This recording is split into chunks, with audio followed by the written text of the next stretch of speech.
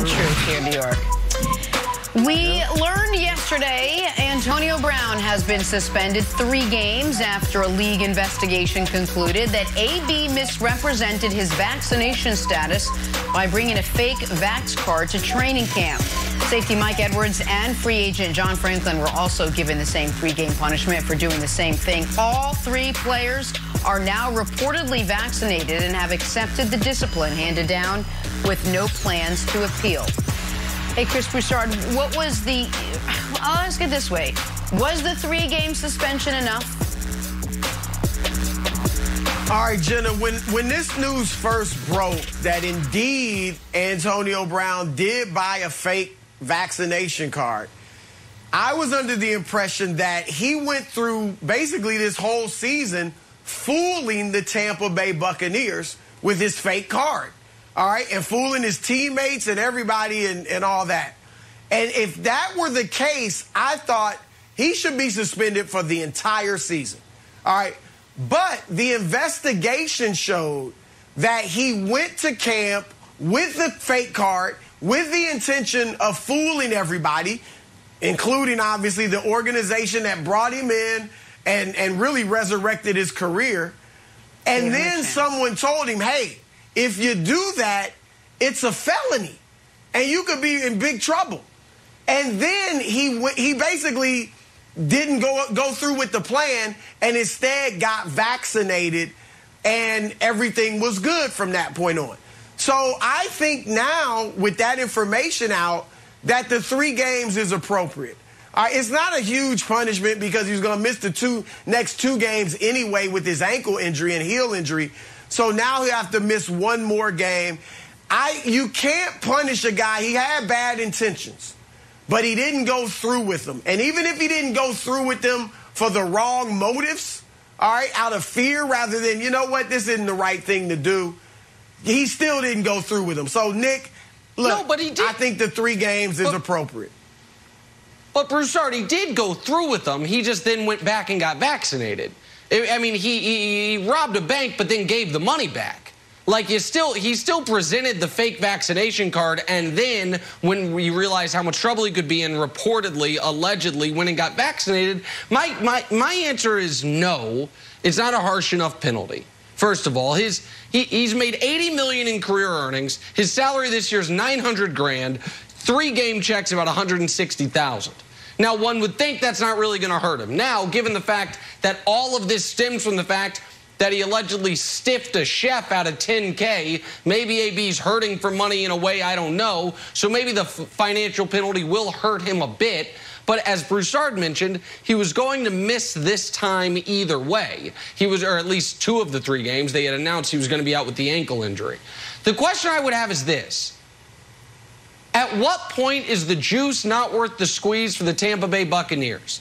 Even if the NFL is going to say that his penalty, along with the safety Mike Edwards penalty, is three games, what Mike Edwards doesn't have is a long history of awful behavior.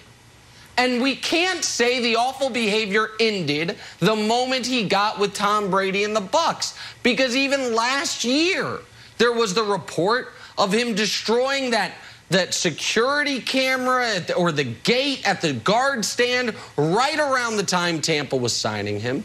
There's now him stiffing a chef out of money, which I don't know if that's criminal or civil, but it's obviously poor behavior. And what the NFL's investigation did find was that he committed a federal offense. Having a fake vax card, whether you agree it should be or not, it's a federal crime. Why, why do the Bucs uh, Uh, who otherwise, by the way, have a team of really likable, rootable guys. Brady's one of the most popular athletes in the world. He's only really polarizing because he wins so much. Gronk is universally beloved. Vita Vea is adored. Suh is a tough guy on the field, off the field, one of the most respected guys in the sport. They got all these guys, Bruce Arians, who, by the way, is a cancer survivor. Tom Moore, who's 83 years old, that in the interim between AB having the fake vax card and then actually getting vaccinated, put all them at risk.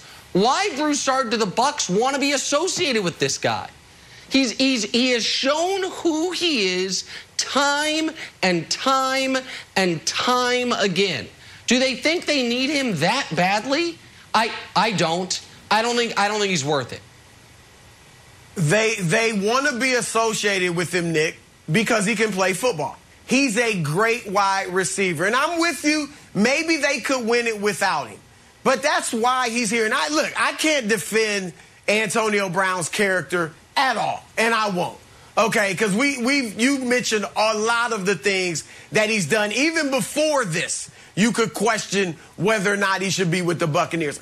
I get all of, of that, but it, look, you're right. The Buccaneers have a lot of good guys, but if we look around the league, let's keep it real.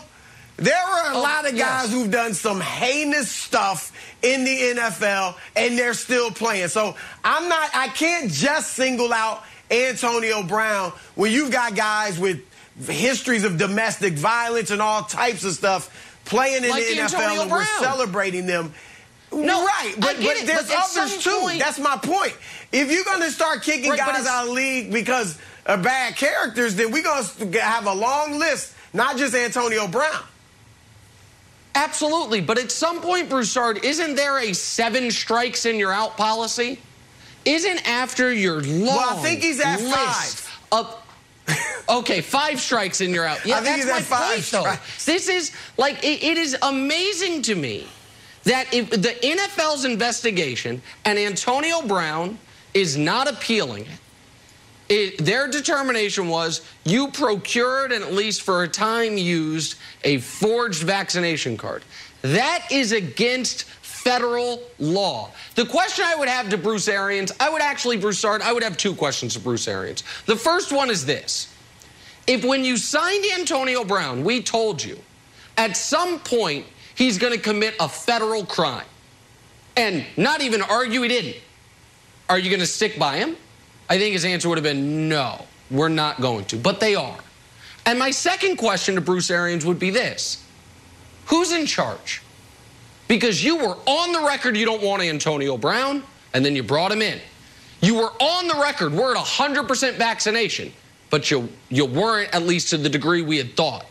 And then you were on the record a, week and a half ago. This is a non story, but it was. So, Bruce Arians, who everybody likes and I have massive respect for, are you in control of your own roster? Or does Brady get a carve out for his old roommate who's just a bad dude? And I just real quick before you answer, I want to say so I don't seem like a hypocrite. The reason I'm not killing Mike Edwards on this is because Mike Edwards doesn't have a history of bad behavior. Mike Edwards, in this instance, did the same thing Antonio Brown did reportedly, but he doesn't have a long list of reasons for me to think he's a bad guy. So I do, I don't believe you should be kicked out for a bad one bad act necessarily. But at some point, enough's enough. I, look, I think a big, and we don't, I don't know that we know the answer to this, right? But a big thing to me is when did he go ahead and make the decision? You know what? I'm not going to go through with this fake COVID card. All right. I mean, was it a couple of days? Was it the first day? Or was it two months? If it was a long period of time, that's a different story. But I'm kind of from the report under the impression that he gets to camp and somebody tells him, look, man, you better not go through with this. And he goes ahead and gets vaccinated right away. And I think that's different, Nick. So I, I look, like I said, if he fooled his team and organization all season up until this investigation, then I think he should be suspended the rest of the season. But if the report says he got vaccinated, that's why the Buccaneers were so adamant. Look, uh, he's vaccinated. It's legitimate. Then he had bad intentions. He decided against it, maybe not for the wrong motives or for with the right motives, but he didn't end up going through with his terrible plan. I think three games is sufficient. All right, we're going to set that aside. at the NBA.